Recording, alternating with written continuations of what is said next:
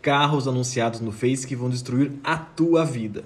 Citroën Xara Picasso por si só já poderia destruir tua vida. Tô falando mal do Xara Picasso em geral, é que hoje em dia tá muito difícil achar esse carro em bom estado. Aí é um C4 Picasso 2004, bem abaixo da tabela e no GNV.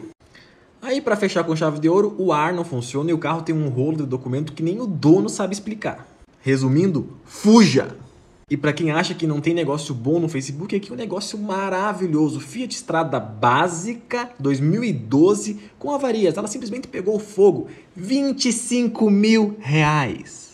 Corre logo que tá na promoção. Motor V6 da S10. De repente você quer montar um projetinho, colocar esse motor num chevette ou numa gaiola, quer fazer tendel.